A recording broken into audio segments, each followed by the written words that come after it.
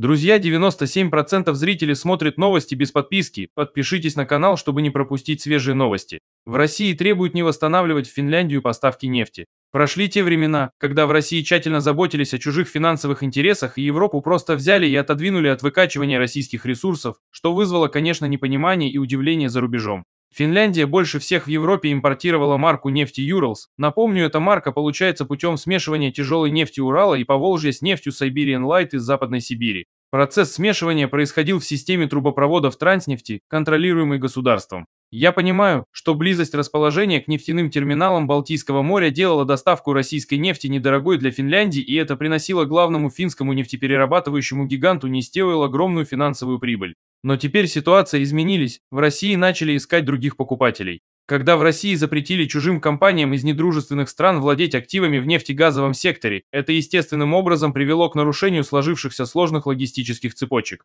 по которым иностранные владельцы перенаправляли российскую нефть в другие страны. Появились новые возможности. Чужие представители выведены из советов директоров в российских нефтедобывающих компаниях и потеряли право принимать решения, соответственно лишившись всех дивидендов.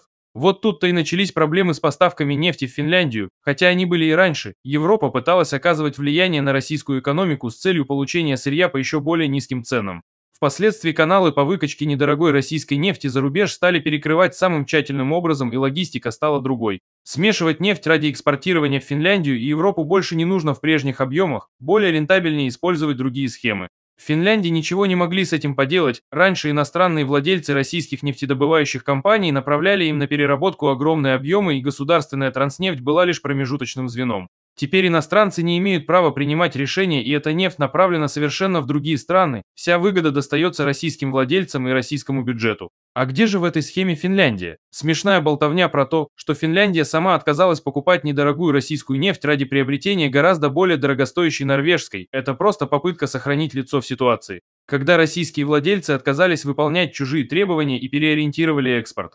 Ну и что, что финская Нестеойл лишилась огромных доходов и вынуждена перенастраивать свое оборудование на другие сорта? Нас это не касается. В России перестали думать о финансовом благополучии Европы.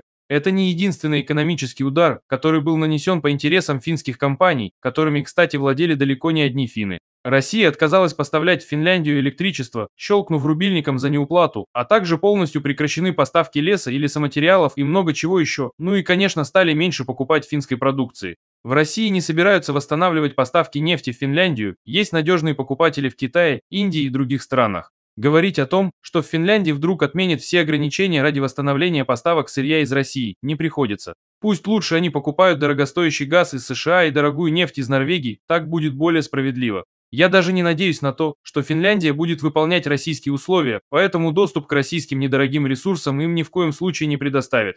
В России требуют не восстанавливать поставки ресурсов в такие страны, пока иностранные компании не начнут честно вести бизнес. Ставьте лайк, если не сильно расстроились, что российская нефть больше не обогащает финский бизнес. Россия отказывается поставлять в Швецию сырье, древесину и металлы. В Европе не перестают оказывать влияние на торгово-экономические отношения с Россией и результат не совсем радует владельцев европейских компаний. Вместо того, чтобы принимать чужие правила, в России наоборот решили оттеснить европейских управляющих от своих сырьевых рынков.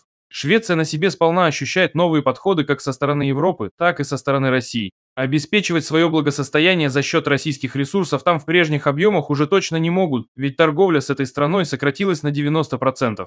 Получается, Россия перестала снабжать Швецию своими недорогими ресурсами. Если посмотреть, что именно Швеция покупала у России, то там привычный набор для любой европейской страны, топливо и нефтепродукты составляют почти 40%, химическая продукция 38%, металлы 9%, древесина 6%. Продовольствие 4% от двухстороннего товарооборота. То есть выходит, что Швеции от России нужны были только одни ресурсы, которые они потом перерабатывали и продавали обратно в Россию и в другие страны в виде продукции с высокой добавленной стоимостью. Сальдо складывалось отрицательное. В целом торговля составляла не более 5 миллиардов долларов в год, но потом в Швецию было продано российской продукции всего на 240 миллионов евро. Естественно, шведские товары России не особо нужны, а вот российское сырье для шведской экономики играло довольно важную роль. Если в России с легкостью заменили шведские товары и даже не заметили этого, то для Швеции в вопросе снабжения ресурсами все обстоит гораздо сложнее. Российская древесина, металлы и углеводороды не обеспечивают шведскую промышленность сверхприбылью, а дорогостоящие привозные ресурсы забирают у шведских компаний большую часть финансового дохода. Снабжение Швеции российскими ресурсами по сути происходило в основном через прибалтийские и финские порты, но российский транзит в том направлении сошел на нет. А налаживать новые маршруты через Санкт-Петербург и Усть-Лугу, конечно, не так легко для шведских компаний в связи с загруженностью портовых мощностей. Стоит отметить, что сокращение торговли России и Швеции на 90% является самым интенсивным по сравнению с остальным Евросоюзом, который уменьшил закупки российских товаров лишь на 5%.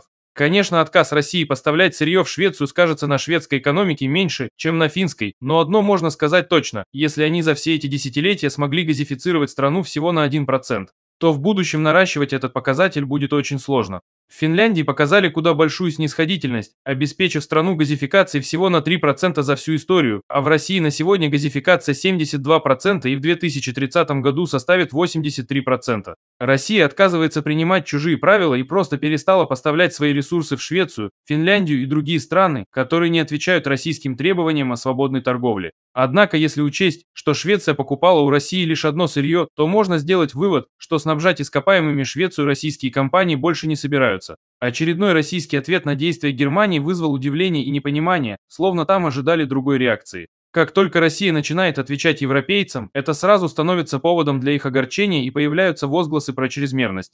Немецкая дипломатия раньше сводилась к получению недорогих российских ресурсов, и это было ключевым аспектом нашего двухстороннего взаимодействия. Да вот только теперь эта политика уходит в историю. Вместе с желанием России обеспечивать своими ресурсами всех, кого попало. Не успели в России озвучить ответ на высылку российских дипломатов из Германии, как в ФРГ сразу выступили с требованием не отвечать так несоразмерно, якобы это слишком чрезмерно и нетранспарентно принципе, эти просьбы можно понять, ведь Россию теперь обязаны покинуть сотни сотрудников немецких дипломатических и иных ведомств. Паковать чемоданы обязаны работники дипломатической сферы, помощники дипломатов, государственные служащие, учителя, культурные посредники. Такие как сотрудники Института Гёте и школы Фридриха Газа и в Германии это вызвало огромное недовольство, ведь теряется возможность продвигать в России немецкие культурные и экономические интересы. Некоторые вообще предлагают перенести посольство Германии в дальние края.